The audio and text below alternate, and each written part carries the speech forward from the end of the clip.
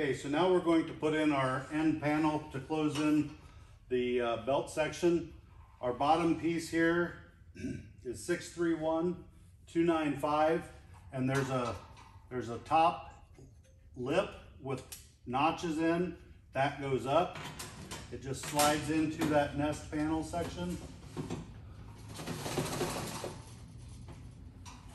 Okay, and then we're gonna take our top section piece, six three one three oh four.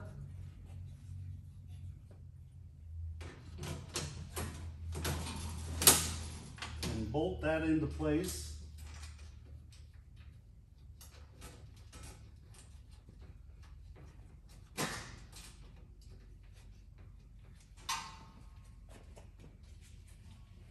And then we're, then we're going to take the door panel, which is six three one three zero zero.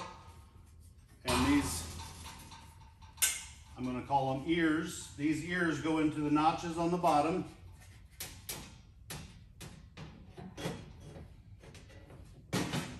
And then you pick up just slightly and it'll sit into the ears on the top.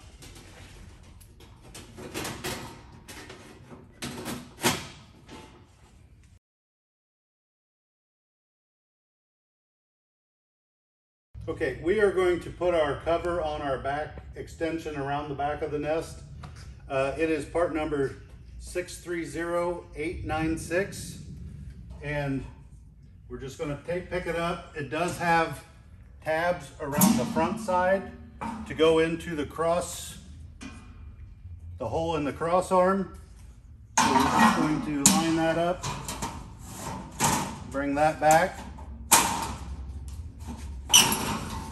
So this is designed that if, if your nest, if this covers out, sticks out too far on your nest for your particular setup, you can cut sections off. We have a series of holes here. You can move this cross arm back. I believe it's six inch sec sections that can be moved or removed off of this. So then we also have to cover the section between here and this last nest panel we have two side panels, which are 630895. And again, we have tabs.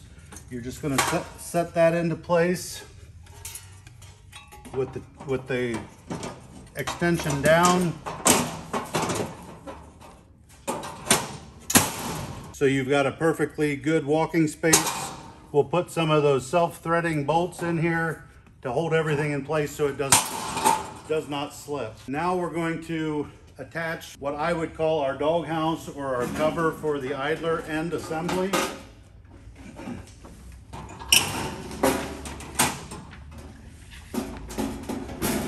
And that is part number 631008.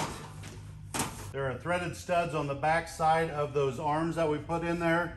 So now we can just thread bolts right into that to hold it into place. Okay, now that we have our whole end assembly complete, on the expeller tubes, we've got a little more tube sticking out of the nest than what we needed. It, it would be recommended to cut it off about two inches past the wall. That way there's a little bit of room for expansion and contraction.